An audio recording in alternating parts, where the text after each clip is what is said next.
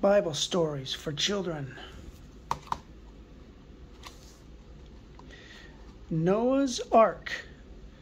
A huge storm was coming, and God wanted to protect Noah and the animals. So he told Noah to build a big boat. The animals climbed aboard, two by two.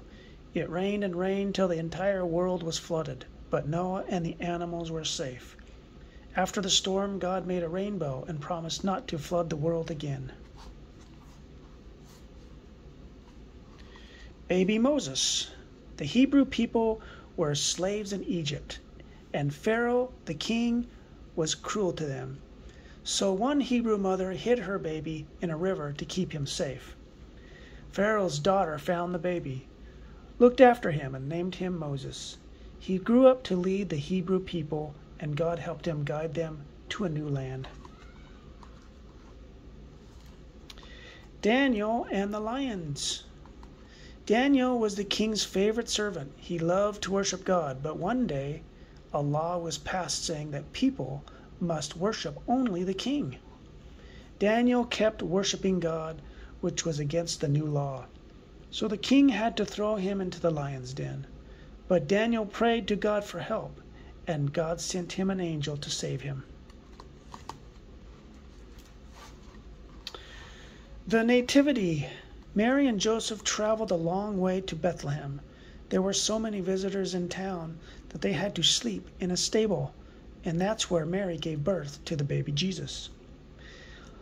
Out in the fields, an angel told the shepherds that Jesus was born. A bright star shone in the sky. Everyone celebrated because Jesus was the Son of God. The storm. Jesus and his disciples were on a boat when suddenly a mighty storm blew up. Jesus was sleeping, so the disciples woke him and cried out for help. Don't be frightened, said Jesus. Then he stood up and calmed the wind and waves. The disciples were amazed that the storm was over. They were safe. Jesus and the children. Whenever Jesus went, Crowds of people followed him. They listened to him talk and asked him for help and advice. Sometimes they brought their children along.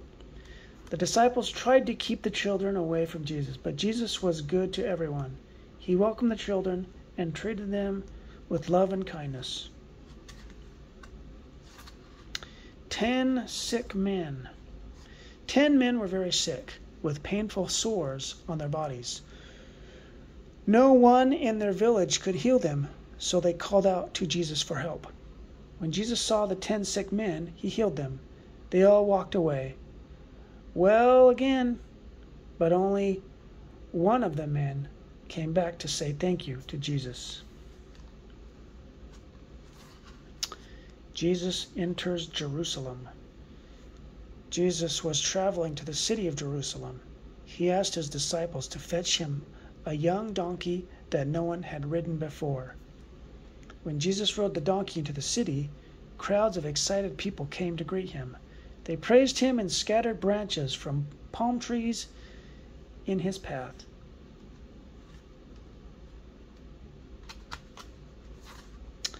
The love of Jesus. All his life, Jesus taught about love, but some people were very jealous of him. One day his enemies nailed him to a cross to die. Jesus rose again and visited his disciples. He asked them to carry on teaching about love, kindness, and forgiveness. We can spread this message too because Jesus lives in all our hearts. The end.